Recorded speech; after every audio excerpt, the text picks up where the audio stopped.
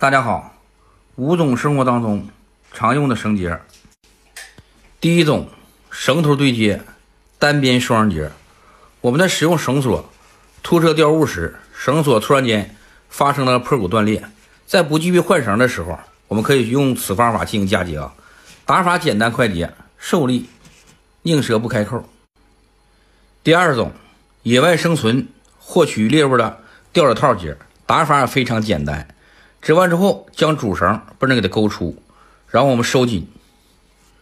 收紧之后，我们将这个绳圈给它调整到一个合适的大小。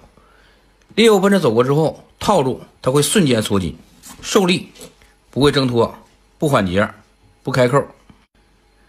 第三种，塑料皮条也叫包装袋啊。我们在捆绑物体时，塑料皮条这个包装袋不够长，不会嫁接的时候，方法不对。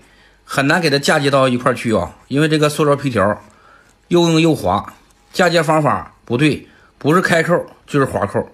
学会这个方法只需要几秒钟的时间，受力不缓结，拧折不开扣。第四种加固式单套布林结，在单套布林结的前提下多缠绕一圈，防止的打滑。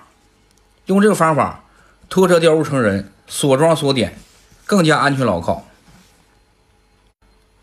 第五种绳梯，高空作业、野外攀爬、户外施工作业、探险探洞时，常用这个绳梯，而且打法简单，便于携带收纳，受力不缓结，安全牢靠。